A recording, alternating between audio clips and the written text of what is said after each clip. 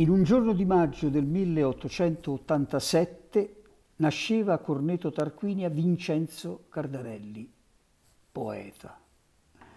Maggio faceva pensare ad una vita ridente, splendente, tutt'altro fu il percorso della sua esistenza. Una madre persa anzitempo, un padre distratto, eh, preso dal suo lavoro al buffet della stazione, lo lasciarono custodito in varie case del paese a dozzina, diceva dei suoi anni di infanzia, e crebbe solitario, vanamente alla ricerca di affetti, alla ricerca di quella madre che aveva lasciato in lui un vuoto incolmabile. Crudele addio. Ti conobbi crudele nel distacco. Io ti vidi partire come un soldato che va alla morte senza pietà per chi resta.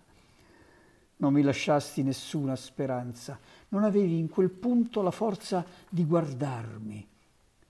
Poi più nulla di te, fuorché il tuo spettro, assiduo compagno, il tuo silenzio pauroso come un pozzo senza fondo.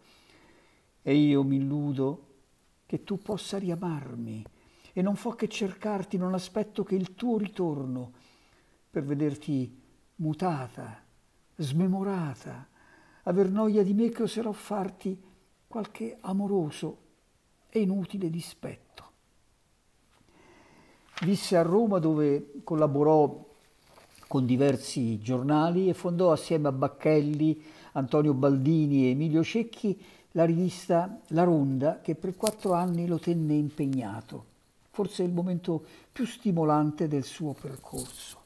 Ma sua compagna fu la poesia, alla quale affidò quella carica di umanità che gli ribolliva dentro, una poesia che spesso è avvicinata a Leopardi per quel lirismo intimo che è caratteristica delle sue opere, che rafforzò, rafforzò però in lui quel senso di distacco dal mondo, quel suo prezioso e personalissimo piacere di vivere da solitario. Gabbiani. Non so dove i gabbiani abbiano il nido, ove trovino pace. Io son come loro in perpetuo volo. La vita la sfioro come essi l'acqua ad acciuffare il cibo. E come forse anch'essi amo la quiete, la gran quiete marina, ma il mio destino è vivere, balenando in burrasca. Non furono certo le donne amate e presto dimenticate che contribuirono a sollevarlo dal suo stato. Attesa. Oggi che t'aspettavo, non sei venuta.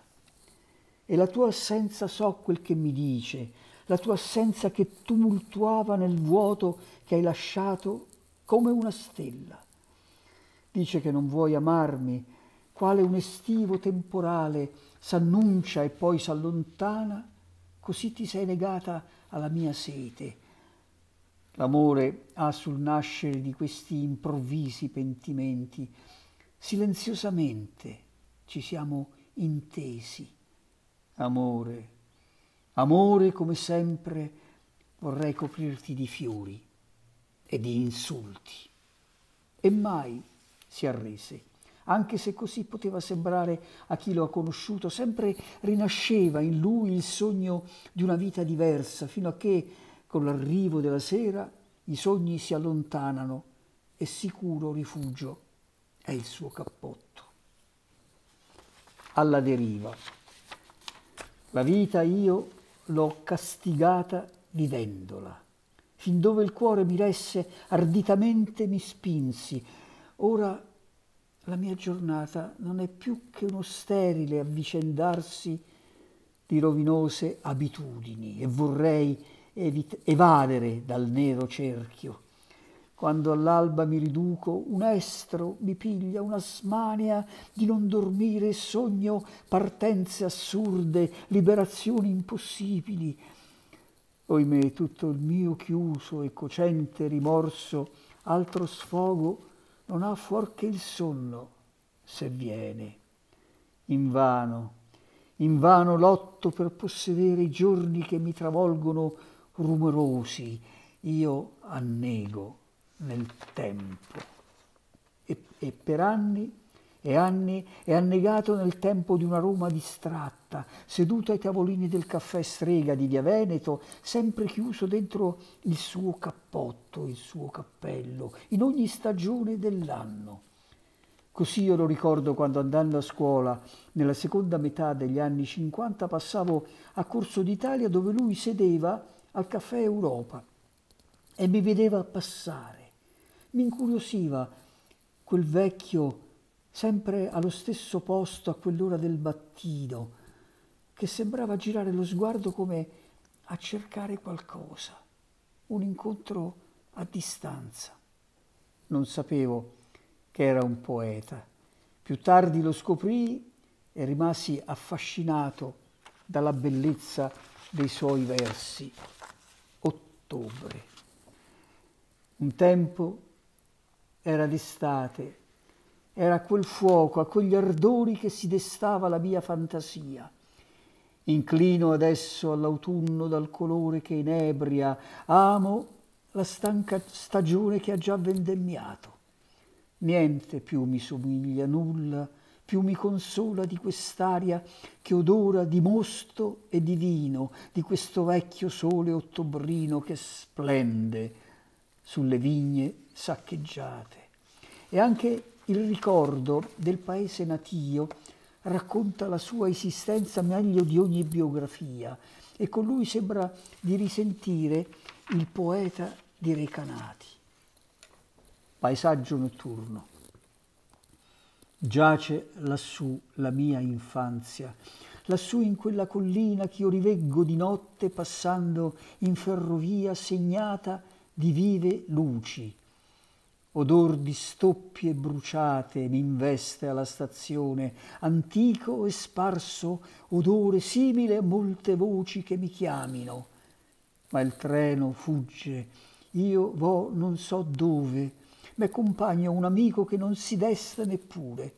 Nessuno pensa o immagina che cosa sia per me questa materna terra ch'io sorvolo come un ignoto come un traditore. E a quella terra etrusca ritorna quasi volesse rinascere, ma deluso ritrova solo un passato da cui non riesce a separarsi. Partenza mattutina. Al mio paese non posso dormire, sempre mi leverò coi primi albori e fuggirò insalutato quanti mattini della mia infanzia furono simili a questo libeccioso e festivo, con la marina burrascosa in vista e la terra bagnata. Quante volte percorsi questa strada oggi mi ritrovo e mi stupisco d'essere ancora al mondo, sconosciuto, inatteso, eccomi in via di nuovo per quella stazioncina solitaria in cui vissi bambino, a cui ritorno e tutto il mio passato mi frana addosso, inorridisco al suono della mia voce. Immergersi nella lettura delle poesie di Cardarelli è un esercizio che invoglia a non distaccarsene. È una poesia allo stato puro che ti travolge con la sua bellezza e ti cattura. Concludo con questa alla morte. Morire, sì, non essere aggrediti dalla morte, morire persuati, persuasi che un siffatto viaggio sia il migliore e in quell'ultimo istante essere allegri come quando si contano i minuti dell'orologio della stazione e ognuno vale un secolo. Poi che la morte è la sposa fedele che subentra all'amante traditrice, non vogliamo riceverla da intrusa, né fuggire con lei.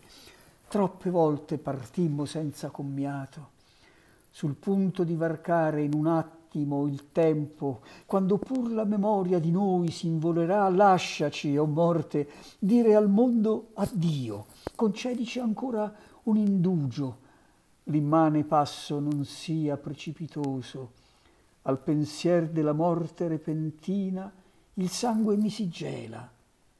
Morte non mi ghermire, ma da lontano annunciati e da amica mi prendi come l'estrema delle mie abitudini.